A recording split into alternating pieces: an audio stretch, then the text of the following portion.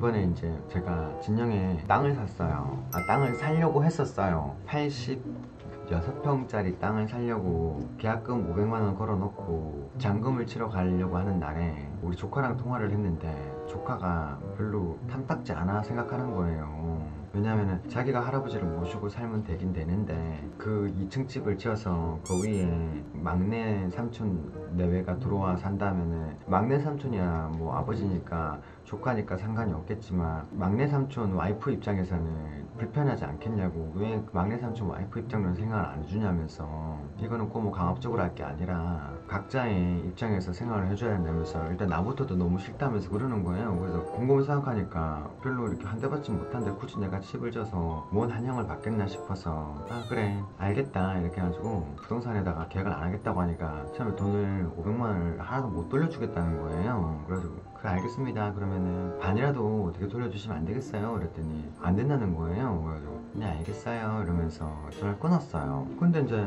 며칠 뒤에 전화 왔어요. 음, 며칠 뒤에 전화 왔는데 하는 얘기가 안녕하세요. 여기 부동산입니다. 이러는 거예요. 아 네. 이랬어요 어떤 일이세요? 이랬더니 아 그 저기 그 계약금을 돌려 어, 드린, 드릴 텐데 어 그렇죠 저야 그럼 감사하죠. 그랬더니 그러면 계약금 중에 부동산 또 이렇게 그 수강 것도 있으니까 부동산에다가 한 100만 원씩 이렇게 떼주고 그 양쪽 부동산인가 봐요. 부동산에서 100만 원씩 떼주고 한 300만 원 정도 챙겨 가시는 건 어떠신가 이래서 그렇다는 거예요. 그래가지고 나는 뭐 어차피 못 받을 돈이라 생각했는데 300만 원을 건지니까 나야 뭐 굿이죠. 그래가지고 어 네 그러면 좋죠 이래서 전화를 끊었어요. 전화를 끊었는데 갑자기 이제 뭐, 뭐 돈을 못 돌려준다는데 또 뭐 자기네들끼리 이제 그 그 땅 주인 그다음 부동산 두 군데서 싸웠나 세 군데 싸웠나 봐요. 어, 그래가지고 우리는 집에 가만히 있는데 그래서 이제 뭐 돈을 못, 못 돌려주니 뭐, 뭐 아니 뭐 그러는 거예요. 그 집주인 전화번호 가르쳐주니까 나뭐 통화를 해보래요. 그 집주인한테 전화를 했어요. 그랬더니 알고 보니까 이제 이 부동산에서 장난을 친 거예요.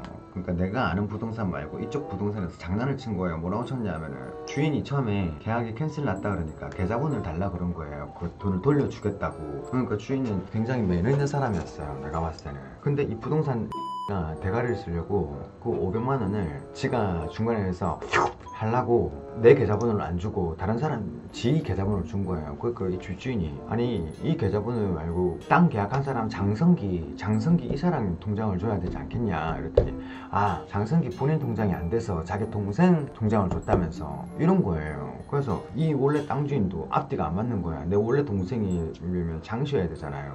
앞뒤가 안 맞는 거 뭔가 이상하다 생각해가지고 못 주겠다 이렇게 하면은 된 거예요. 그래서 이렇게 중간에서 질질 끌다 보니까 아우 안 줄란다 안 돼도 되는 거잖아 이러면서 막 이렇게 주인이 그렇게 나온 거예요. 그래서 이제 부동산에서 저길이 안 되다 보니까 나한테 주인 전화번호를 가르쳐 준 거예요. 그럼 내가 주인한테 전화를 했죠. 그 아니 제가 그 땅을 정말 마음에 들어서 사고 싶었는데 사실은 저는 그 땅을 투자 목적으로 산 게 살려고 한 게 아니라 아버지 집을 지어드리려고 살려고 했는데 조카가 그래도 이제 내일 모레 30이라고 반대를 하니까 그 뜻을 꺾을 수가 없어서 땅을 팔게 돼서 나는 이게 그 돈까지 손해를 보고 이렇게 하는데 절반이라도 돌려주시면 좀 좋겠다 그랬더니 원래 다 돌려줄 생각이었어요. 근데 부동산에서 자꾸 장난을 치니까 짜증나서 그랬어요. 그러는 거예요. 계좌번호 주세요. 싸드릴게요. 그러는 거야. 그럼 계좌번호 줬더니 바로 싸주더라고요. 황당한 일이 있었다니까요 황당한 일.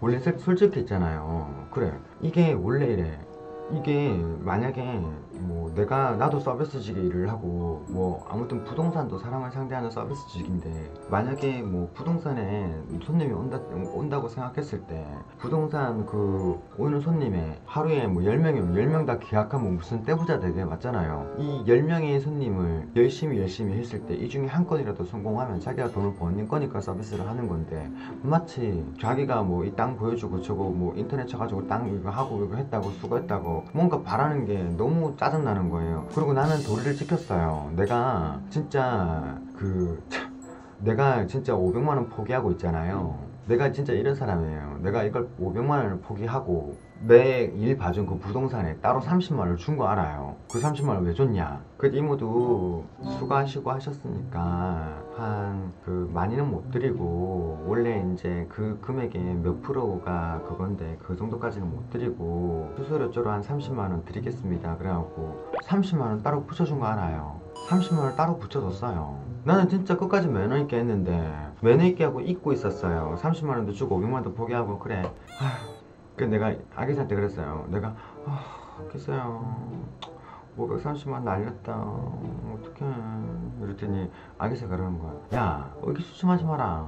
우리 항상 그렇잖아. 530만 원 나, 나가면 1060만 원 들어오더라 아이가. 그냥 이제 뿌라 이러는 거야. 그래가지고 어 어떻게 이제 뿌노. 아 내가 맛있는 거 해줄게 이제 뿌라 이러면서 막 지가 뭐 뒤집어지게 하는 거야. 그래갖고 먹고 이제 잊어보고 있, 며칠 지나고 잊어보고 있었는데 내가 잊어먹고 있는 사이에 저끼리 싸움 붙은 거예요. 저끼리 싸움 붙어갖고 감당이 안 되니까 나한테 전화 온 거예요. 장성기 본인한테.